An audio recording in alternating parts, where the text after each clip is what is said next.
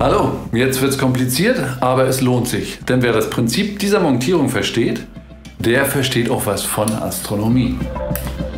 Denn er hat verstanden, dass die Erde rund ist, sich dreht und dabei um die Sonne kreist. Nicht lachen, denn wer zum Beispiel meint, unsere Sonne beschreibt im Laufe des Tages einen Bogen am Himmel, liegt schon falsch. Ach, wäre die Erde nur eine Scheibe, so wie eine Schallplatte. Es gebe für alle Menschen auf unserer Seite den gleichen Anblick des Sternhimmels. Mal vom Wetter abgesehen und die veränderte Schwerkraft außer Acht gelassen. Aber es gebe auch keinen Tag-Nacht-Wechsel. Wir hätten nur eine helle Sommerzeit und ein finsteres Winterhalbjahr. Für die unter uns wäre es andersrum. Flögen wir ansonsten weiterhin so schief durchs All um die Sonne, hätten wir alle genau über uns den Polarstern, die am Nordpol genauso wie wir. Die Sonne würde permanent am Himmel kreisen, immer in der gleichen Höhe zum Horizont. Nur allmählich würde sie die Höhe ihrer Bahn von Tag zu Tag Stück für Stück ändern. Im Sommer immer höher. Zum Herbst verschwindet sie dann schlagartig und scheint für ein halbes Jahr auf der anderen Seite. Es wäre nur dunkel und extrem kalt. Übrigens auch im Sommer wäre es trotz permanenter Sonne kälter, da sie auf der Erdscheibe nirgends mehr im Zenit steht. Der Einfallswinkel ist viel flacher, sodass wir immer lange Schatten hätten.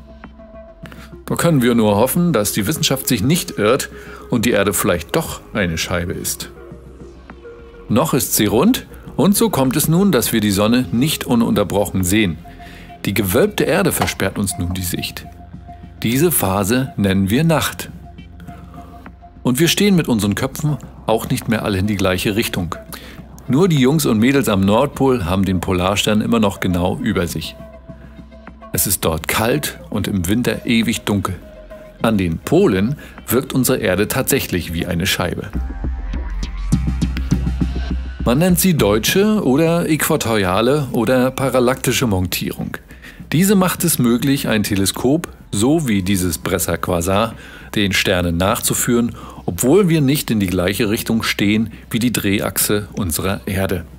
Dazu reicht es zu wissen, wie der Winkel unserer Senkrechten zu dieser Achse ist. Oder, wie es sich in der Praxis durchgesetzt hat, den Winkel zur Äquatorsenkrechten zu nehmen. Dort beginnt man mit 0 Grad zu zählen. Am Pol sind es dann 90 Grad. In Berlin sind es etwa 52,5 Grad. Die Achse, die die Erdachse simuliert, heißt hier Rektazensionsachse oder auch Stundenachse.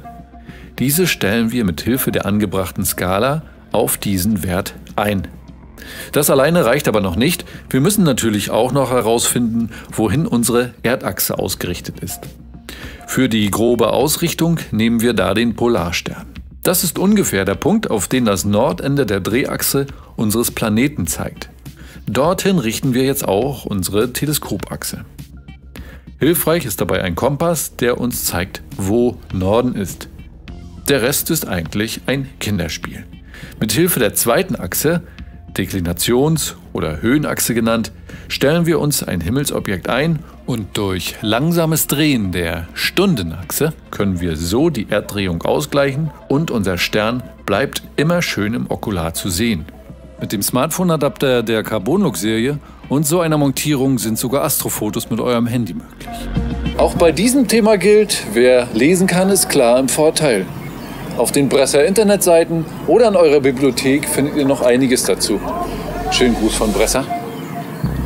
Euer Inka.